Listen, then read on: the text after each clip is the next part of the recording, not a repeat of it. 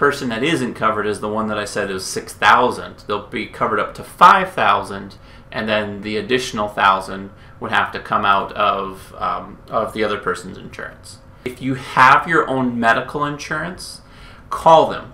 Find out if they cover car accidents.